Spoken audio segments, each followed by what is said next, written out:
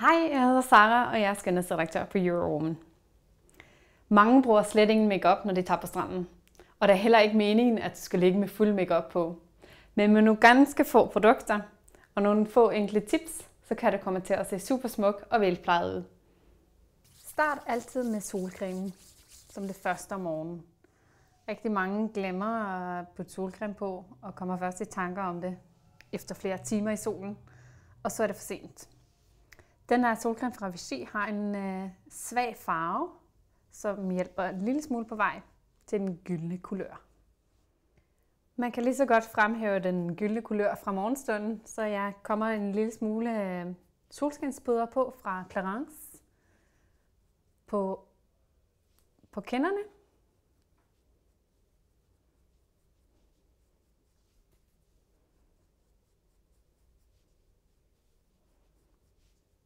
På hagen.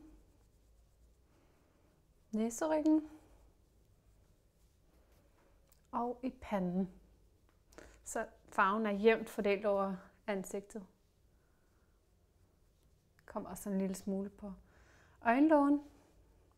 Der skal selvfølgelig ikke meget makeup på øjnene, men jeg kommer en lille smule af den her highlighter pen fra Dior i øjenkrogen.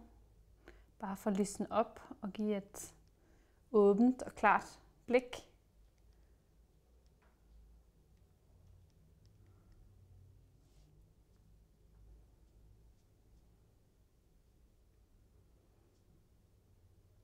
Inden jeg kommer mascara på, så bukker jeg lige vipperne.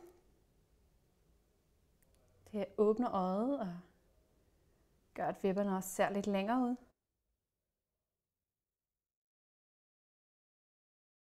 Og så skal jeg selvfølgelig bruge vandfast mascara.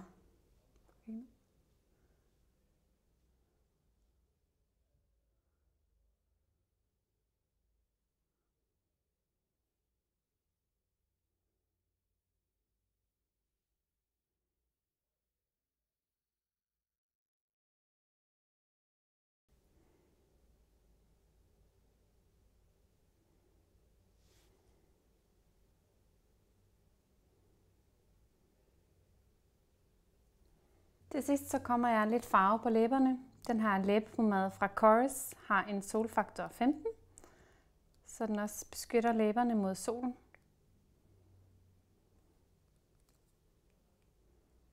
Og giver en lille smule farve til læberne.